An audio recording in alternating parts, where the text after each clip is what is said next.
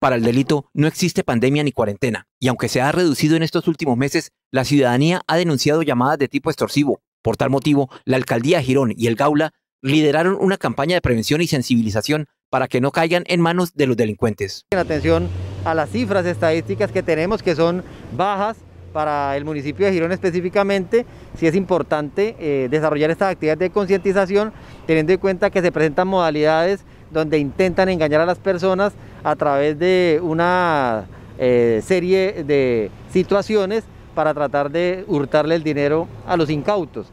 Para la comunidad, estas campañas son necesarias y deben realizarse de manera constante, pues la delincuencia siempre busca formas para extorsionar. Una campaña muy buena porque la mayoría de gente pues no sabe, se deja engañar. A nosotros personalmente ya nos pasó una vez. Llegaron al negocio a extorsionarnos, a pedirnos dinero.